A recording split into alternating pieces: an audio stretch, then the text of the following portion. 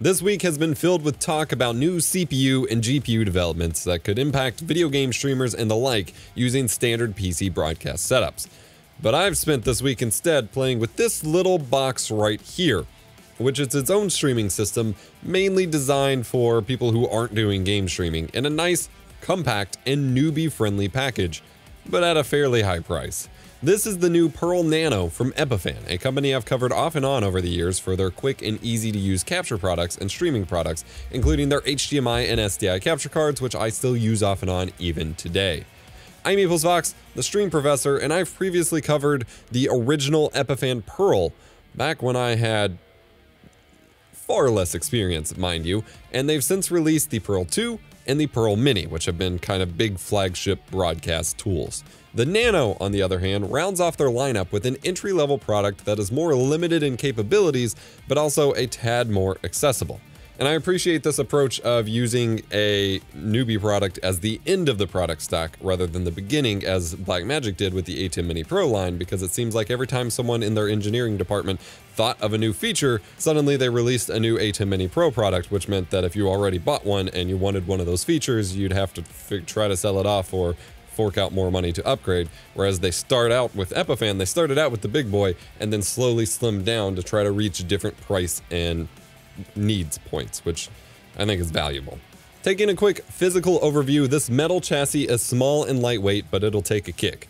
Uh, it's about the size of a book, uh, but a little bit heavier. On the front, you have a 3.5 millimeter headphone jack, SD card slot, tiny little LCD, LCD display.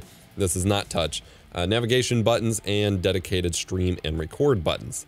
The back features lots of I.O. goodness. A locking 12 volt DC power connector. It is able to be powered over Power over Ethernet Plus as well, by the way. A Kensington lock, USB 3.0 Type A port, HDMI out for the monitoring and control interface or the final mix, if you want to use it directly with a keyboard and mouse. Gigabit Ethernet, which supports PoE+, Plus, as mentioned, SDI input, HDMI input, and lag-free HDMI pass-through for that input, RCA audio input, and a pair of XLR inputs. The bottom features a removable cover to access the M.2 SATA SSD drive slot. It won't accept NVMe SSDs, but it will take SATA. Keep in mind that using an SSD here disables the front SD card slot, which I find a little silly of a sacrifice personally, but you can load it up with a big one or two terabyte drive to keep a running archive of all of the shows or lectures being made with this thing for a long time. There's also mounting threads on the bottom so you can just rig this up just about anywhere. Currently, the HDMI and SDI inputs max out at a 1080p 60 format, but Epiphan's original marketing says that these can be upgraded to 4K with an update later on. We'll see. I personally get annoyed at the lack of 4K support on new devices in 2021, but in the real world, most people aren't trying 4K broadcasts, and even Blackmagic's ATEM Mini Pro line is all 1080p. The USB port supports USB hubs and connecting multiple devices, such as a keyboard and mouse, to use this directly as a stream computer, or even USB microphones too. It does not work with UVC uh, capture cards or webcams over USB, however, unfortunately. The XLR inputs run at line level, so it won't work for connecting microphones directly. It's designed to accept a final mix out of a recorder or mixer at normal line level. Testing the HDMI inputs uh, with the time sleuth to measure latency, the HDMI pass-through does in fact appear to stay real time, with adding no additional lag to the HDMI feed, while the normal HDMI out for the final mix adds almost exactly a frame of lag, which is to be expected with the mixing and the frame buffer involved there, so Hey, this box is great for creating interviews or podcasts. You know where those interviews do best? My own streaming service called Nebula. I've built this with my creator friends to house the extended cuts of videos that wouldn't perform as well on YouTube and deliver them in higher quality without ads. And with it, we've partnered with CuriosityStream. Nebula features YouTube's top education creators such as Legal Eagle, Thomas Frank, and Low Spec Gamer. There is the nearly two hour extended cut of my interview with Mr. Greggles from this week up there as well. Curiosity Stream saw what we were doing for educational content and wanted to partner up.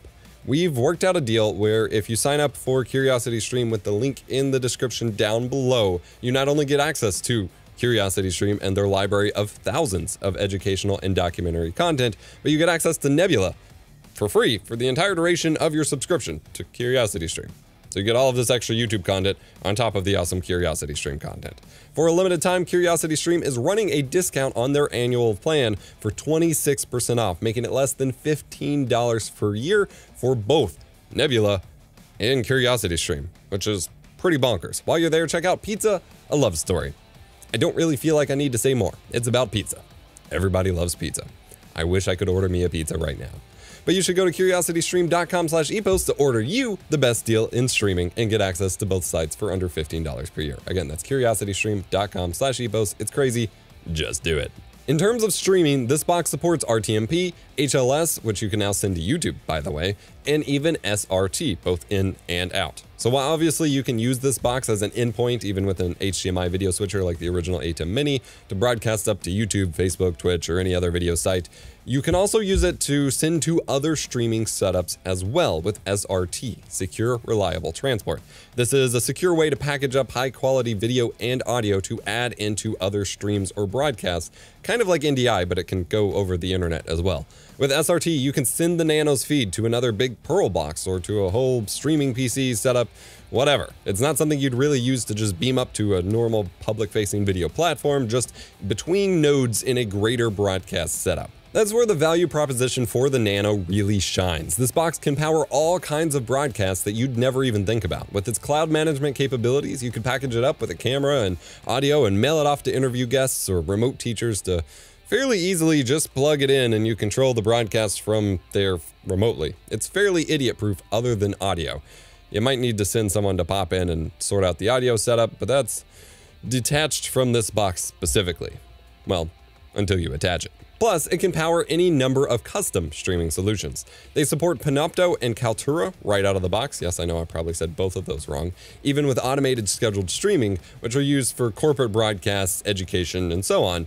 And they have an API where you can build out and seamlessly integrate this into just about any streaming setup or website with an easy, low upkeep, total custom solution here. They also have support for Crestron AV systems for businesses too. This kind of total integration into whatever solution you wish to build out is where the Nano stands above say slapping a laptop, some capture cards, and OBS together, especially when it comes to support. Basic training or on-site instructions can keep an education or corporate setup using one of these running for a very long time with minimal support. Whereas throwing an OBS PC together as, you know, with cheap components is something you'll be playing tech support with for basically all time. Plus, you can either set it up to connect remotely with the UPnP auto setup with DHCP and all of that from the box itself if the network you send it to supports it, or via the cloud service, so it's pretty foolproof overall. That being said, there are limitations to the allowed workflow for this device. You can only configure one stream layout, or channel as they call it, to be used at a time. This is a huge limitation that even just having a second one, two total, would alleviate pain points for screencasts, lectures, conference presentations, etc. that they may run into. Again, you can just upgrade to the Pearl Mini or 2 for this, but eh, it feels like uh, a terrible kneecap to this product. To change layouts, you have to completely swap everything over, and that cannot be done while recording or streaming, even though it can be on the bigger products. You also have limited capabilities in terms of actually configuring the layout. Graphics and picture-in-picture -picture modes are supported via the different video inputs in the Media Manager or even by bringing in outside RTSP or SRT streams, but you don't get the granular transform tools or placement that you would on the Pearl 2, for example. Size of sources is determined by scaling them to a lower resolution. You can still crop and adjust position, but not dynamically scale, which makes it difficult or impossible to use finely tuned layout visuals versus just a basic background and lower third. There's also no chroma key support that I can tell. You do get the flexibility to mix inputs across HDMI, SDI, and RTSP or SRT streams, as well as audio from HDMI, SDI, RCA, or XLR, and USB, which is neat. USB microphone support will save some of the setup hassle for mailing this off to an interviewee as well. Recordings can be managed quite competently. You either record directly to the SD card or the SSD, but not both. Uh, from there, you can configure automatic file uploads to network storage locations or Epiphan Cloud or uh, the direct uploading to Kaltura or Panopto.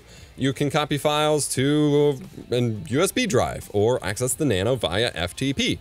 Plus, you can directly download the files through your web browser from the management interface. So that's handy as well. The streams and recordings themselves are saved in the same quality, so you cannot run a high bitrate local recording with a low bitrate web stream, unfortunately. But you can pass either of the HDMI outputs to a dedicated video recorder. The streams rely on the included hardware H.264 encoder with basic configuration options uh, such as encoder profile, which should almost always be set to high, resolution, keyframe interval, frame rate, and bitrate, along with AAC, PCM, or MP3 audio support and bitrate for that as well. Quality-wise, it's a hardware H.264 encoder, so it won't keep up with the current game streaming expectations of X264 slow or Turing NVENC on a high-end gaming PC, but it's passable for what it is. While high-action content such as 60 FPS gaming may end up a little blocky, slower-paced lectures, screencasts, conferences, or interviews would still look awesome on this thing.